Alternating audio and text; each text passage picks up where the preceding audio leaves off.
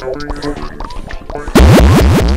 Greetings, people of the internet. I'm Scott with Serkworks Art Labs. Welcome to the underground laboratory where we create robots, alien zombies, and other imminent threats to humanity. We also create comic books because this is the 100 Days of Making Comics Challenge, where we spend 30 minutes a day every day for 100 days straight working on our own personal comic book project. My project is this one. This is the current issue of Young and the Dead. It's a kids versus zombie story. Think Goonies meets Night of Living Dead, available at serkworks.com, along with the other previous two issues. So there's three issues up there. I'm working on issue four. That's what this whole thing is all about. And uh, where are we on the challenge here? So, whoa!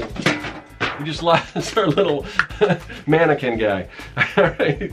So we are at day, let's see, day 69. You can take, you can make whatever you want out of that. But it's day 69, and uh, so we just dot that down on the oversized pad of paper with a big fat sharpie, and that'll tell us where we are in the challenge. All right. Okay, whenever we hear that chime, that you got mail chime, that means we've got mail. Well, it makes sense that a, it, it, means we got mail. But we get our mail down here in the lab differently than a lot of people. We don't have like a postman that comes or a post, uh, you know, post person that comes down and delivers our mail or whatever. We're way down here in this underground lair inside of a live volcano, so it gets difficult to get our mail. So what we have to do, we've got this mail delivery system right here. This is the Vaculux. It sends through our mail room, which I don't know know how we get it up to that point. That's something I got to do a little research. But it, it, our henchmen sent it through here, and uh, and that's how we get the mail. So let's check it out. What do we got here? Okay, it is a package, and as you can see, it's kind of small. If you're new to this, you know that big boxes we can't shoot through the mail system because they're just too large. They won't fit in this little canister. So we have to reduce the size of our packages, which means we've got to get a little tube thing like this, drop a little water on it because they're dehydrated. They dehydrate them in the mail room, send them to us, we dehydrate them, and then we can do the unboxing. So let's do that right now. Okay, now that it's actual size, we'll go ahead and open that thing. Let's see. Uh, I've ordered a lot of stuff, so I don't know exactly what's in here. We'll see. Looks like a few different things. So, all right, what do we got here? We got some oversized ellipse templates, great for creating comics. We got those. I will put those to good use. What is this? This is, oh, this is a camera bag, so I can take my camera that I'm using, that I'm filming this on, mobile. I can take it around Nothing super exciting. It's cool for me. Um, oh, and this, another thing. So I've just bought a bunch of different things to film with and kind of improve the channel. You guys have probably seen these little pop sockets you can put on your iPhone or whatever. So it just, this little thing, it's flat, it pops out like this. So you can act, or actually like this. So you know how hard an iPhone is to, to actually hold when you're doing vlogging and stuff like that? This just pops in there and it creates a cool little stand. So I got that, that is cool. And oh, this is the main thing that I've been wanting. Okay, so, so I don't know, sometimes the lighting down here in the underground layer gets a little dark, uh, especially up in this corner over here, right up here where the uh, paralleloscope is. So I got this little LED light. Now this is something you can hook it, you know, prop it up to your camera if you got like a DSLR. I'm not that fancy, I got kind of a point and shoot, but, um, but I can also use it just by itself, mount it up here, and it gives out a lot of light according to the reviews and everything. So I'm anxious to try this out and hopefully that will improve the channel. So, so yeah, I don't know. This is, this is, you know, something, you know, and if you guys are starting to do YouTube or whatever, don't worry about all this fancy stuff. Just whatever, you've got a smartphone, just use that. And as your channel continues to grow, then you can kind of add little things to it to, to make it a little better here and there. But don't let the technology, don't let, you don't have to get everything perfect to start. Just, just get started and then gradually, as your channel continues to grow, you start putting, you can start putting a little uh, more into it as far as, you know, cameras and lights and all that kind of stuff. But anyway, uh, enough about making YouTube videos and things like that. Let's get on to making comics, what this is all about. We're to go up here, like I said, to the paralleloscope, which allows us to view alternate realities where the process of making Young and the Dead issue 4 is going on right now as we speak, so let's check it out. So I'm driving home uh, from work where I put in my 30 minutes a day on my lunch hour, which has kind of been the case for, I don't know, probably since I started uh, most of these pages. it just seems it's a you know it's it's a time of day that I've got that chunk and it seems to work. And that's always helpful. Uh, when you have when you have a certain specified time it's it seems like you can get stuff done better than like oh I'll just find some time some 30 minutes somewhere in my day now of course on the weekends that's a different story I've got to find that time because I don't have work but uh, anyway so yeah now that I'm now that I'm inking and I've you know I've inked uh, three previous pages up to this. Right now, I'm working on the spread for pages four and five. If you've been following me, you know.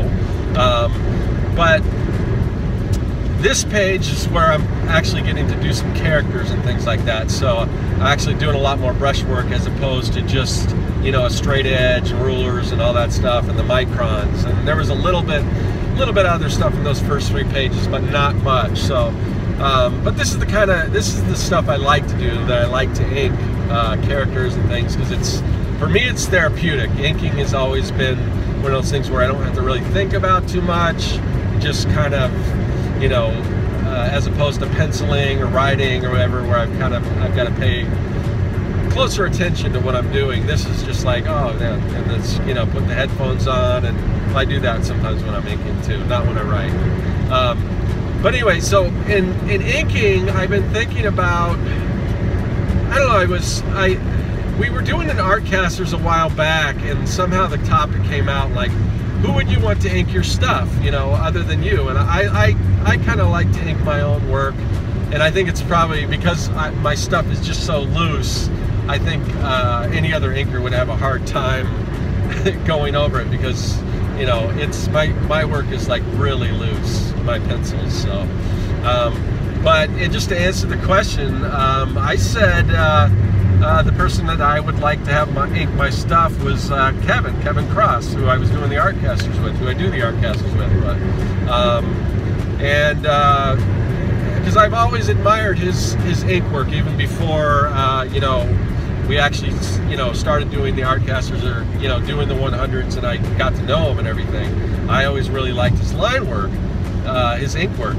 And, but I don't know, his, his, I, I think his style on my stuff would be, again, it would be, it would be difficult because it's so loose. And one thing I noticed about Kevin, um, and I hadn't really noticed this before, but um, in watching some of his, his videos, that the I think the reason why his ink work is so tight is because his pencils are so tight.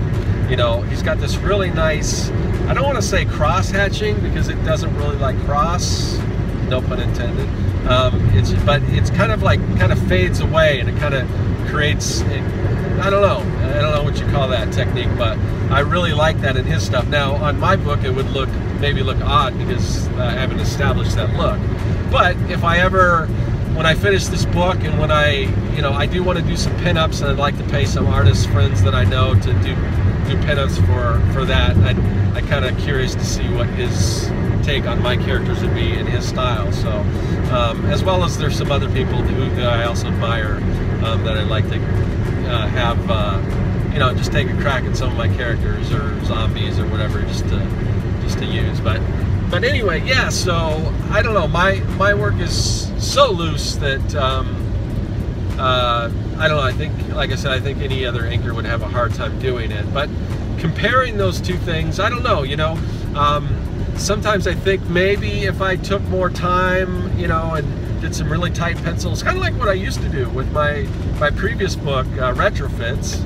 Um, I worked a lot tighter, and as a result, it never got done. So I think if I did that, um, it probably the book would probably never get done. So I, you know, I'll keep I'll keep doing it the way I'm doing, and it's you know, it's my inks are so loose and they don't necessarily even go over the lines that I've created underneath. And sometimes it's like, oh, I didn't, I don't know if I like that, you know, and because it's, it's just some of it is just like just kind of on a whim. I kind of I'll take the line in a different direction that really wasn't underneath. And sometimes that's to my detriment. Sometimes that's a benefit because I think sometimes it gives it a, little more life, a little, you know, because it because it is loose. But but I don't know. It's just it's just different styles. Sometimes it's like, oh, maybe I should have done it. You know, if I would have planned this out a little more, it would look better. But you know, that's kind of what I established, and that's what I'll continue to do. So anyway, these are some things I'm thinking about on my drive home. Um, uh, just in regards to inking. So, yeah. Okay, we are back and we are to say goodbye to day 69. Man, we are moving up. We're, you know, tomorrow is day 70. Can you believe that? Getting up there, getting up there. Um, so we crumble this up, we throw it in the garbage. I'll see you guys tomorrow for day 70. That is all. Hey everyone, you've seen the process, now you can check out the story. Issues 1 through 3 of Young and the Dead are available at my website at serkworks.com. Also follow me on social media at the links listed below, subscribe, and check out some of the other videos in the series. There's much more to come.